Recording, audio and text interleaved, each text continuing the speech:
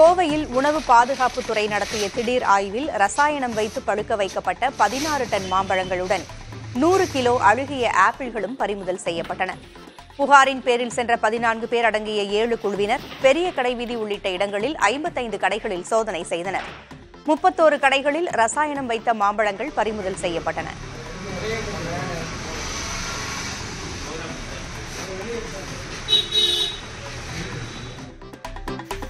கோவை மாவட்டம் வால்பாறை அருகே பலாமரம் விழுந்து மின் இணைப்பு துண்டிக்கப்பட்டதால் குரங்குமூடி எஸ்டேட் பகுதி மக்கள் தவித்தனர். இப்பகுதியில் சுமார் நூறுக்கும் மேற்பட்ட குடும்பங்கள் வசித்து வரும் நிலையில் அங்கு உலா வந்த ஒற்றை காட்டு யானை பலாப்பழங்களை பறிப்பதற்காக மரத்தை வேரோடு சாய்த்தது. அப்போது மின்கம்பிகள் மீது மரம் விழுந்ததால் மின்சாரம் துண்டிக்கப்பட்டது.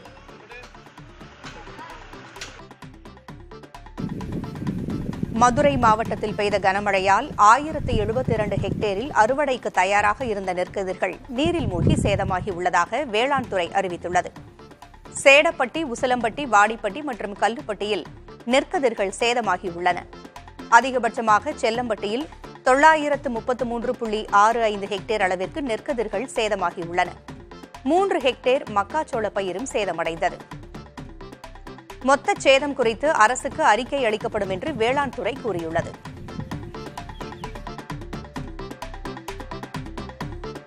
புதுக்கோட்டை மாநகராட்சியோடு தேக்காட்டூர் திருமறைலாயர் சமுத்திரம் திருக்கட்டளை முள்ளூர் நத்தம்பண்ணை உள்ளிட்ட எட்டு ஊராட்சிகளை இணைத்ததற்கு எதிர்ப்பு தெரிவித்து முன்னூறுக்கும் மேற்பட்ட மக்கள் நகராட்சி அலுவலகத்தை முற்றுகையிட்டனர். தங்களது ஊராட்சிகளை மாநகராட்சியோடு இணைத்தால் சொத்து வரி வீட்டு வரி அதிகரிக்கக்கூடும் என்றும் நூறு நாள் வேலை திட்டம் பாதிக்கப்படும் எனவும் கிராம மக்கள் கூறினர்.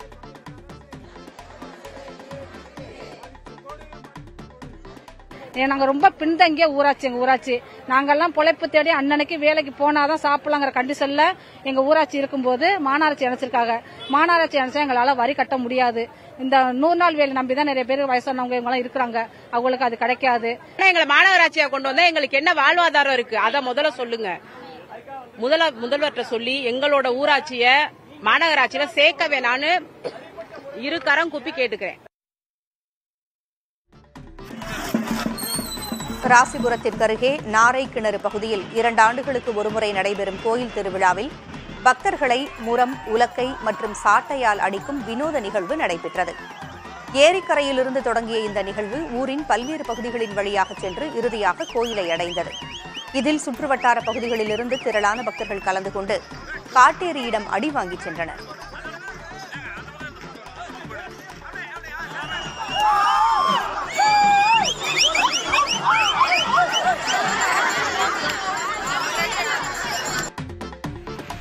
விழுப்புரத்தில் ஒரே நாளில் கொட்டிய பதினேழு சென்டிமீட்டர் மழையால் மணிநகரில் கழிவுநீர் வடிகால் பணிகள் நடைபெற்ற சாலையில் பள்ளம் ஏற்பட்டுள்ளது. விழுப்புரத்தில் கோடை காலத்தில் அதிகபட்சமாக புதன்கிழமை பதினேழு சென்டிமீட்டர் மழை பதிவானது. இதனால் மணிநகரில் கழிவுநீர் வடிகால் பணிக்காக தோண்டப்பட்ட சாலை உள்வாங்கியுள்ளது. சாலையின் நடுவே பள்ளம் ஏற்பட்டுள்ளதால் வாகன ஓட்டிகளும் பொதுமக்களும் சிரமத்திற்கு உள்ளாகியுள்ளனர்.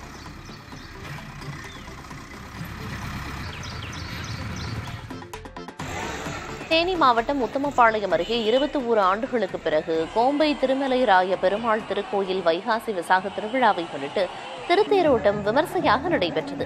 ஆயிரக்கணக்கான பக்தர்கள் கலந்து கொண்டு கோவிந்தா என பக்தி முழக்கமிட்டு தேரை வடம் பிடித்து இழுத்தனர்.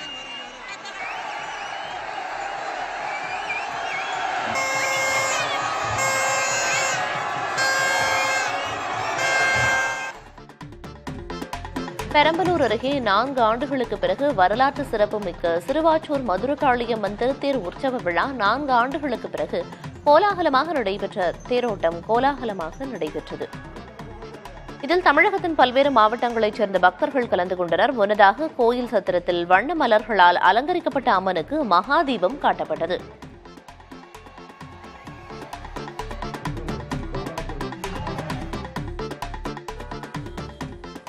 நீலகிரி மாவட்டம் குன்னூர் சிம்ஸ் பூங்காவில் அறுபத்தி நான்காவது பழக்கண்காட்சி இன்று தொடங்குகிறது. சிம்ஸ் பூங்கா உருவாக்கப்பட்டு நூற்று ஐம்பது ஆண்டுகள் ஆனதை கொண்டாடும் வகையில் நூற்று ஐம்பது பழ வகைகள் காட்சிப்படுத்தப்பட்டுள்ளன. சுற்றுலா பயணிகளை மகிழ்விக்க இரண்டாயிரம் கிலோ திராட்சைகளால் பிரம்மாண்ட கிங்காங் உருவம். இயற்கை விவசாயத்திற்கு முக்கியத்துவம் கொடுக்கும் வகையில் கோ ஆர்கானிக் போன்றவை பழங்களால் வடிவமைக்கப்பட்டுள்ளன. வழக்கமாக இரண்டு நாட்கள் நடைபெறும் இந்த பழக்கண்காட்சி முதன்முறையாக இந்த ஆண்டு மூன்று நாட்கள் நடைபெறவுள்ளது.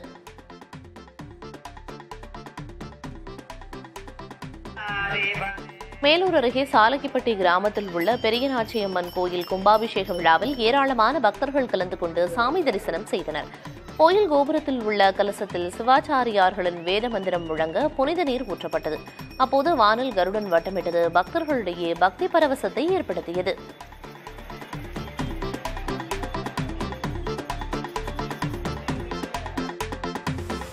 கோவை மாவட்டம் முழுவதும் கோடை மழை பரவலாக பெய்ய தொடங்கியதால் மீண்டும் நொய்யல் ஆற்றில் நீர்வரத்து தொடங்கியுள்ளது. மேலும் கனமழை காரணமாக வறண்டு காணப்பட்ட சித்திரைச்சாவடி தடுப்பணையில் நீர் பெருக்கெடுத்து ஓடுகிறது. இதனால் பொதுமக்கள் அங்கு உற்சாகமாக குளித்து மகிழ்ந்தனர்.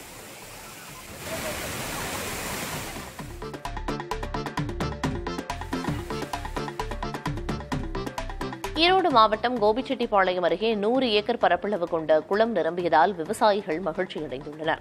மழையால் நிரம்பிய எலத்தூர் கிராமத்தில் உள்ள குளத்திலிருந்து உபரிநீர் வெளியேறி வருகிறது. இதனால் நூறுக்கும் மேற்பட்ட ஆழ்குழாய் கிணறுகளில் நீரூற்று இருக்கும் என விவசாயிகள் மகிழ்ந்துள்ளனர்.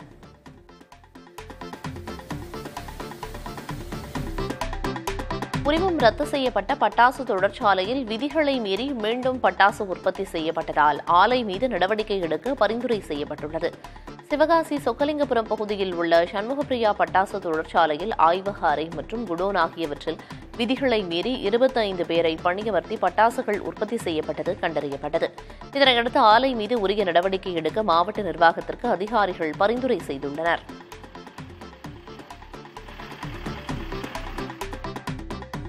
வாக்கு எண்ணிக்கை பணியில் ஈடுபட உள்ள அலுவலர்களுக்கு திருச்சியில் ஒருநாள் பயிற்சி வகுப்பு நடத்தப்பட்டது. அதில் வாக்கு எண்ணிக்கையின் போது சீல் வைக்கப்பட்ட பாதுகாப்பு அறை திறக்கப்பட்டவுடன் வாக்குப்பதிவு கட்டுப்பாட்டு இயந்திரத்தை எந்த வரிசையில் எடுத்து வருவது வேட்பாளர்களின் முகவர்கள் முன்பாக வாக்குப்பதிவு கட்டுப்பாட்டு கருவியை எப்படி கையாள்வது பதற்றமின்றி வெளிப்படையாகவும் நேர்மையாகவும் வாக்கு எண்ணிக்கையை நடத்துவது என்பது குறித்த பயிற்சிகள் வழங்கப்பட்டன.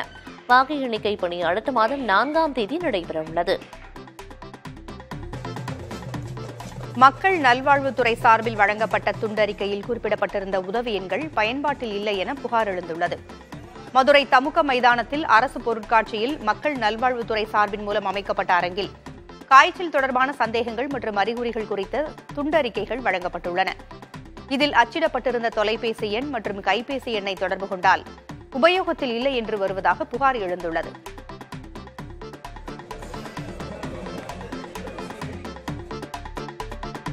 ராமநாதபுரத்தில் எழுநூறு கிலோ போதைப் பொருட்களை கடத்தி வந்த ஆறு பேரை காவல்துறையினர் கைது செய்துள்ளனர். போதைப் பொருள் கடத்துவதாக மாவட்ட காவல் கண்காணிப்பாளருக்கு கிடைத்த ரகசிய தகவலின் அடிப்படையில் கேணிக்கரை காவல்துறையினர் ரோந்து பணியில் ஈடுபட்டுள்ளனர். அப்போது ஐயத்திற்கிடமாக வந்த வாகனத்தை மறித்து சோதனை செய்ததில் சுமார் எழுநூறு கிலோ போதைப் பொருட்கள் இருப்பது தெரியவந்தது. இதையடுத்து வாகனத்தை பறிமுதல் செய்த காவல்துறையினர் கடத்தலில் ஈடுபட்ட ஆறு பேரை கைது செய்துள்ளனர்.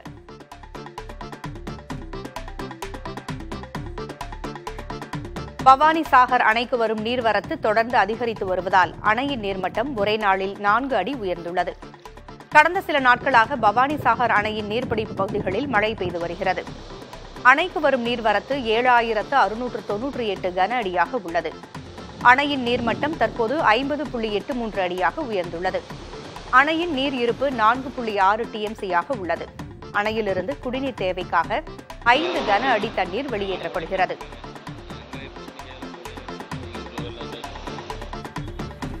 அரசு பள்ளி மாணவர்களுக்கான விலையில்லா சீருடை தைக்கும் பணியில் விழுப்புரம் மகளிர் குழுவினர் தீவிரமாக ஈடுபட்டுள்ளனர். தமிழகத்தில் ஜூன் முதல் வாரத்தில் பள்ளிகள் திறக்கப்படும் என்று கூறப்படும் நிலையில் வழக்கம் போல் வழங்குவதற்கான சீருடைகள் தயாராகி வருகின்றன. விழுப்புரம் சேமிப்பு கிடங்குகளிலிருந்து புத்தகங்கள் விழுப்புரம் திண்டிவனம் உள்ளிட்ட பகுதிகளுக்கு அனுப்பப்பட்டு வருகின்றன. கிருஷ்ணகிரிக்கு அருகே ஸ்ரீ திரௌபதி அம்மன் கோவிலில் வேண்டுதலை நிறைவேற்ற பக்தர்கள் துடைப்பத்தால் அடி வாங்கினர். ஒரப்பம் கிராமத்தில் சுமார் எழுநூறு ஆண்டுகள் பழமை வாய்ந்த ஸ்ரீ திரௌபதி அம்மன் கோவிலில் துரியோதனன் வதம் செய்யும் நிகழ்ச்சி நடைபெற்றது. நாற்பது அடி நீளத்தில் களிமண்ணால் துரியோதனன் உருவம் செய்யப்பட்டு வதம் செய்யும் நிகழ்வு நடத்தப்பட்டது. இதில் பங்கேற்ற பக்தர்கள் துடைப்பத்தால் அடி வாங்கி தங்கள் வேண்டுதலை நிறைவேற்றினர்.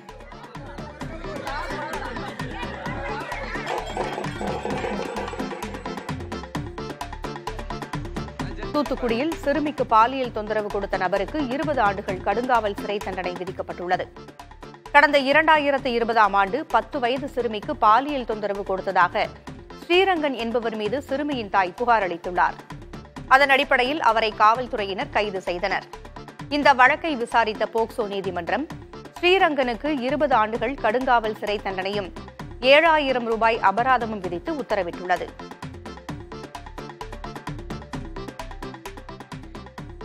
கிருஷ்ணகிரி மாவட்டம் எட்டிப்பட்டி கிராமத்தில் குடிநீர் தொட்டி கட்டி முடிக்கப்பட்டு இரண்டு ஆண்டுகளாகியும் மக்கள் பயன்பாட்டிற்கு வராத நிலைமை தொடர்கிறது. முப்பதாயிரம் லிட்டர் கொள்ளளவு கொண்ட இந்த குடிநீர் தொட்டி பதினோரு லட்சத்து அறுபத்தி இரண்டாயிரம் ரூபாய் மதிப்பீட்டில் கட்டி முடிக்கப்பட்டது. அடுத்த சில நாட்களில் தொட்டியை பரிசோதனை செய்ய நீர் ஏற்றப்பட்டதாகவும் தொட்டியின் பக்கவாட்டு பகுதியில் கசிவு ஏற்பட்டதாகவும் கூறப்படுகிறது. இந்த பழுதை இதுவரை சரி செய்யவில்லை என்று கிராம மக்கள் புகார் அளித்துள்ளனர். இதுகுறித்து ஊத்தங்கரை வட்டார வளர்ச்சி அலுவலரை தொடர்பு கொண்டு கேட்டபோது நேரில் பார்வையிட்டு நடவடிக்கை மேற்கொள்வதாக தெரிவித்தார் சென்னையிலிருந்து கன்னியாகுமரி வந்த அதிவிரைவு ரயிலில் மழைநீர் ஒழுகியதால் பயணிகள் அவதியடைந்தனர். ஏசிபிட்டியில் ஏறிய பயணி ஒருவர் ரயிலில் மழைநீர் ஒழுகி வடிவதை தனது செல்போனில் எடுத்து அந்த காட்சிகளை சமூக வலைதளங்களில் பதிவு செய்துள்ளார். சென்னையிலிருந்து கன்னியாகுமரி செல்வதற்காக கன்னியாகுமரி எக்ஸ்பிரஸ் ரயிலில் அந்த பயணி ஏறியுள்ளார். விழுப்புரம் அருகே மழை பெய்தபோது கழிவறை மற்றும் ரயில் பெட்டிகளின் பல பகுதிகளில் மழைநீர் ஒழுகுவதாகவும் ரயிலில் முக்கிய மின்சாதன பொருட்கள் வைத்திருக்கும் இடத்தில் மழைநீர் வடிவதாகவும் பயணி கூறினார். தென்மாநில அளவில் அதிக வருவாயிட்டும் ரயிலாக கன்னியாகுமரி அதிவிரைவு ரயில் இருந்து வருகிறது. இந்த ரயிலில் எப்போதும் கூட்டம் நிரம்பி வழியும். தென்னக ரயில்வே திருவனந்தபுரம் கோட்டத்தின் கீழ் இயங்கும் இந்த ரயிலில் பயணம் செய்வோர். ரயில் முறையாக பராமரிக்கப்படுவதில்லை என்ற குற்றச்சாட்டை தொடர்ந்து கூறி வருகின்றனர். விருதுநகரில் சரவெடி உற்பத்தி செய்யும் பட்டாசு ஆலைகள் மீது நடவடிக்கை எடுப்பதை கண்டித்து தமிழன் பட்டாசு மற்றும் கேப் வெடி உற்பத்தியாளர்கள் சங்கத்தினர் வேலைநிறுத்த போராட்டத்தில் ஈடுபட்டுள்ளனர். உச்சநீதிமன்ற உத்தரவுப்படி பேரியம் நைட்ரேட் என்ற பச்சை உப்பு மற்றும் தொடர் வெடிக்கு தடை விதிக்கப்பட்டுள்ளது. இந்நிலையில் பென்சி ரக ஃபேன்சி ரக ஷார்ட் வெடிகளில் பச்சை உப்பு பயன்படுத்தப்படுவதை கண்டுகொள்ளாத மாவட்ட நிர்வாகம் சரவெடி உற்பத்தி பட்டாசு ஆலைகளை குறிவைத்து மூடி வருவதாக டாப்மா சங்கத்தினர் கண்டனம் தெரிவித்துள்ளனர். இதனால் இன்று முதல் காலவரையற்ற வேலை நிறுத்தத்தை தொடங்கியுள்ளதால் நேரடியாக மூன்றாயிரம் பேரும் மறைமுகமாக ஐந்தாயிரம் பேரும் பாதிக்கப்படுவார்கள் என பட்டாசு ஆலை உரிமையாளர்கள் தெரிவித்துள்ளனர். திண்டுக்கல் மாவட்டத்தில் பெய்து வரும் கோடை மழை காரணமாக பன்னீர் திராட்சைகள் கொடியிலேயே வெடித்து அழுகி வீணாகி வருவதால் விவசாயிகள் வேதனையடைந்துள்ளனர். பஞ்சம்பட்டி செட்டியப்பட்டி உள்ளிட்ட ஐம்பதுக்கும் மேற்பட்ட கிராமங்களில் இருநூறு ஏக்கர் பரப்பளவில் பன்னீர் திராட்சை சாகுபடி செய்யப்பட்டுள்ளது. தற்போது அறுவடை நேரத்தில் பெய்த கனமழை காரணமாக கொடியிலேயே பழங்கள் வெடித்து விடுவதால் வியாபாரிகள் அதனை வாங்க ஆர்வம் காட்டுவதில்லை என விவசாயிகள் தெரிவித்துள்ளனர். வரும் ஒரு சில வியாபாரிகளும் ஒரு கிலோ திராட்சைக்கு இருபது ரூபாய் வரை மட்டுமே வழங்க முன்வருவதாகவும் இதனால் கடும் இழப்பு ஏற்பட்டுள்ளதாகவும் விவசாயிகள் வேதனை தெரிவித்துள்ளனர். பாதிக்கப்பட்ட பயிர்களை கணக்கெடுத்து உரிய இழப்பீடு வழங்க வேண்டும் எனவும் விவசாயிகள் அரசிற்கு கோரிக்கை விடுத்துள்ளனர். கள்ளக்குறிச்சியில் மத்திய அரசின் பல்வேறு துறைகளில் வேலை வாங்கி தருவதாக கூறி சுமார் முப்பத்து நான்கு லட்சம் ரூபாய் மோசடி செய்த நபரை காவல்துறையினர் கைது செய்தனர். கூட்ரோடு பகுதியைச் சேர்ந்த ரவி என்பவருக்கு விநாயகமூர்த்தி என்பவருடன் பழக்கம் ஏற்பட்டுள்ளது. அப்போது மத்திய அரசின் ரயில்வே துறை மற்றும் கிஷான் ரேஷன் கடையில் வேலை இருப்பதாகவும் அதற்கு ஒவ்வொரு வேலைக்கும் ஒன்றரை லட்சம் ரூபாய் கொடுத்தால் ஒரே மாதத்தில் வேலை வாங்கி தருவதாகவும் விநாயகமூர்த்தி தெரிவித்துள்ளார். இதனை நம்பி ரவியும் அவருக்கு தெரிந்த நபர்களும் சுமார் முப்பத்தி நான்கு லட்சம் ரூபாயை கொடுத்துள்ளனர். ஆனால் வேலை வாங்கி தராமல் ஏமாற்றி வந்த விநாயகமூர்த்தி கொலை மிரட்டல் விடுத்ததாக கூறப்படுகிறது. இதுகுறித்து காவல் நிலையத்தில் புகார் அளித்ததை அடுத்து விநாயகமூர்த்தியை கைது செய்துள்ளனர்.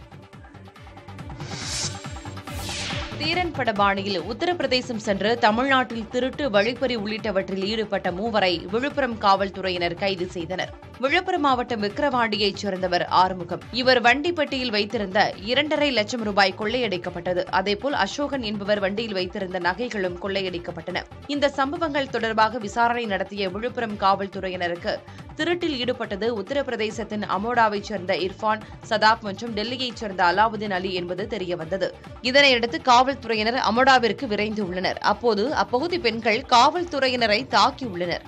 பின்னர் உள்ளூர் காவல்துறையின் உதவியோடு அமடாவிற்குள் நுழைந்த தமிழக காவல்துறையினர் மூவரையும் கைது செய்தனர். அவர்களிடமிருந்து பத்து சவரன் நகை ஒரு லட்சத்து நாற்பதாயிரம் ரூபாய் ரொக்கம் உள்ளிட்டவற்றை பறிமுதல் செய்தனர். அவர்களிடம் நடத்தப்பட்ட விசாரணையில் மூவரும் கிருஷ்ணகிரி சேலம் உள்ளிட்ட பகுதிகளிலும் தங்கள் கைவரிசையை காட்டியிருப்பதும் செயின் பறிப்பில் ஈடுபட்டுள்ளதும் தெரியவந்திருக்கிறது. ஓமலூர் அருகே நிகழ்ந்த சாலை விபத்தில் ஓய்வு பெற்ற காவல் உதவி ஆய்வாளர் வீட்டிற்குள் டெம்போ வாகனம் புகுந்தது. சேலம் மாவட்டம் ஓமலூர் தாரமங்கலம் சாலையில் சமையல் கேஸ் கொண்டு செல்வதற்கான ராட்சத குழாய்கள் பதிக்கும் பணிகள் நடந்து வருகின்றன. இந்த பணிகளில் வடமாநில தொழிலாளர்கள் ஈடுபட்டு வருகின்றனர். சிக்கம்பட்டி சாலை ஓரமாக டெம்போ வேன் ஒன்றில் இரண்டு கேஸ் சிலிண்டர்கள் வெல்டிங் மிஷின்கள் வைத்து பணிகளை செய்து வந்திருக்கின்றனர். இந்நிலையில் டெம்போ வாகனம் மீது பின்னால் வந்த லாரி ஒன்று வேகமாக மோதியதில் அந்த டெம்போ வாகனம் சாலையோரமாக இருந்த ஓய்வு பெற்ற காவல் உதவி ஆய்வாளரான சின்னப்பண்ணின் வீட்டிற்குள் புகுந்தது. அப்போது வீட்டில் யாரும் இல்லாததால் பெரிய அளவிலான பாதிப்பு ஏதும் ஏற்படவில்லை. அதே நேரம் வீடு சேதமடைந்த நிலையில் டெம்போ வாகனத்தில் அமர்ந்திருந்த வடமாநில தொழிலாளர்கள் இருவர் காயமடைந்தனர்.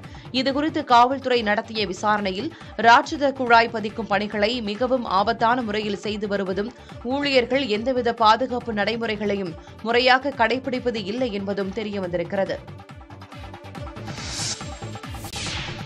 மயிலாடுதுறை மாவட்டம் சீர்காழியில் இரண்டு துணிக்கடைகளின் பூட்டை உடைத்து சுமார் இரண்டு லட்சம் ரூபாய் திருடிய நபரை சிசிடிவி காட்சிகளின் அடிப்படையில் காவல்துறையினர் கைது செய்தனர். கலிவரதன் என்பவர் நடத்தி வந்த துணிக்கடையின் பூட்டை உடைத்து கொள்ளை நிகழ்ந்துள்ளது. இதேபோல மேலரது வீதியில் உள்ள அவரது மற்றொரு கடையிலும் திருட்டு சம்பவம் அரங்கேறியுள்ளது. இதனையடுத்து தனிப்படை காவல்துறையினர் விசாரித்து வந்த நிலையில் அங்குள்ள சிசிடிவி கேமரா காட்சிகளை ஆய்வு செய்திருக்கிறார்கள். அப்போது கடையின் முன்னாள் ஊழியரான முகமது ஃபகத் என்பவர் திருட்டில் ஈடுபட்டது தெரியவந்தது. இதனையடுத்து முகமது ஃபகத்தை கைது செய்து சிறையில் அடைத்துள்ளனர். மயிலாடுதுறை தர்மபுரம் ஆதீனத்தில் ஐம்பது ஆண்டுகளுக்கு பின்னர் யானை மீது திருமுறைகளை வைத்து வீதி உலா வெகு சிறப்பாக நடைபெற்றது.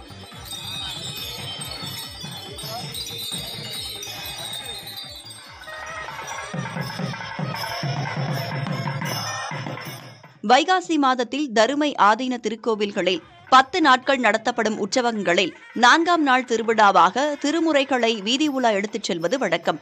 ஆனால் ஒரு சில காரணங்களுக்காக இந்நிகழ்ச்சி ஐம்பது ஆண்டுகளாக நிறுத்தப்பட்டது. இந்நிலையில் இந்த ஆண்டு ஞானபுரீஸ்வரர் பெருவிழாவின் நான்காம் நாள் நிகழ்வில் திருமுறைகள் வீதி உலா வெகு சிறப்பாக நடைபெற்றது. தேவாரம் திருவாசகம் ஆகிய திருமுறைகளுக்கு சிறப்பு பூஜைகள் செய்யப்பட்டு யானையின் மீது வைக்கப்பட்டன. பின்னர் திருவீதி உலாவும் நடைபெற்றது.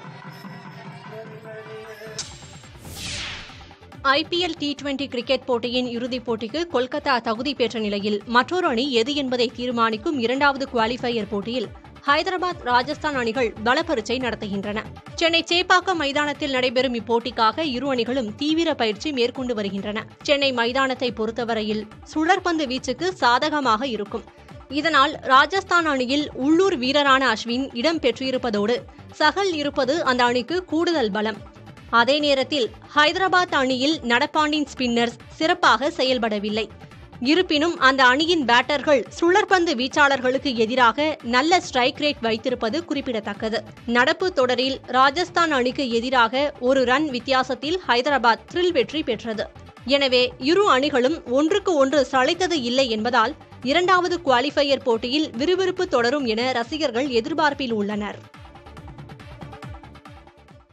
தொடரும் செய்திகளை பார்க்க காஞ்சிபுரம் வரதராஜ பெருமாள் கோயிலில் பத்து நாட்கள் நடைபெறும் திருவிழாவில் மூன்றாவது முறையாக வடகலை தென்கலை பிரிவினரிடையே வாக்குவாதம் நடந்துள்ளது. காஞ்சிபுரம் வரதராஜ பெருமாள் கோயிலில் வடகலை தென்கலை பிரிவினருக்கு இடையே பாடும் உரிமை குறித்து தொடரப்பட்ட வழக்குகள் சென்னை உயர்நீதிமன்றத்தில் நிலுவையில் உள்ளன. கோயில் திருவிழாவில் பூஜை முறைகளில் குறுக்கீடு செய்து தென்கலை வடகலை என இரு பிரிவினரும் பாடக்கூடாது என கோயில் நிர்வாகம் உத்தரவு பிறப்பித்துள்ளது. கோயில் வைகாசி பிரம்மோற்சவம் நடைபெற்று வரும் நிலையில் கடந்த நான்கு நாட்களாக காலை மாலை என இரு வேளைகளிலும் சுவாமி வீதி உலா நடைபெற்று வருகிறது.